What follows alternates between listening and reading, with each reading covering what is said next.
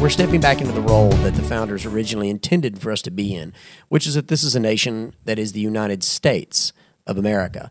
And I am proud to be an American and also proud to be a Tennessean. So Thank you. Thank you.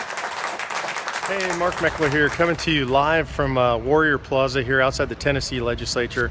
And it's been an incredible day here in Tennessee. We had a big victory in the Tennessee legislature. The Convention of States application was before the House Government Affairs Committee. Went amazingly well.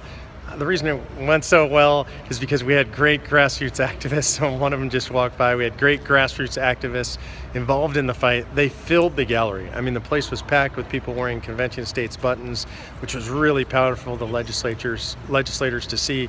They were outside in the hallway because we had an overflow crowd.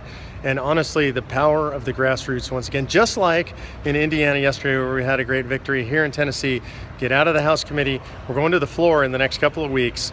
Uh, if you're from Tennessee, don't stop calling. Keep calling, let them know they got to vote for it on the floor. As of today, we have 58 co sponsors in the House in Tennessee. That's enough to get it done, but we want more. We have the Speaker of the House on board, the Majority Leader on board. It's looking pretty likely that Tennessee is going to be the first state to get it done in 2016. So, so to the folks in Tennessee, congratulations. The folks in Indiana yesterday, congratulations.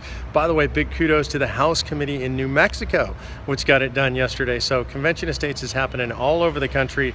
If you're not involved yet, don't hesitate. Get involved, in the solution as big as the problem. It's up to you.